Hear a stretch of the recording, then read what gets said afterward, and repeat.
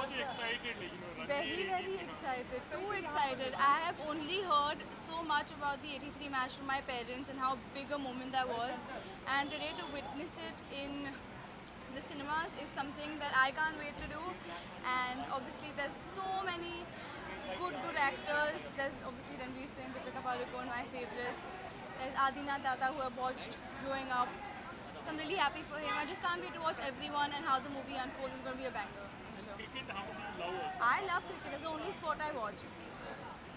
कैसा लगा आपको 83 का ट्रेलर है बहुत ही अच्छा लगा मैं तो सिटी मारती हूँ हमेशा देखती हूँ तभी थैंक यू सो मच